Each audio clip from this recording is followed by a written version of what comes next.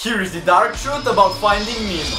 So we all know that scary scene where Barracuda came and ate the mom and all her eggs, just leaving Nemo. But what if I told you that barracudas don't actually eat clownfish and that clownfish are known for eating their own eggs? Female clownfish are bigger and stronger than males. So what if I told you that Nemo's mom ate all the eggs? And when this happened, Marlin was devastated and couldn't believe it. So Marlin actually saved one egg named Nemo. And name Nemo actually means nobody.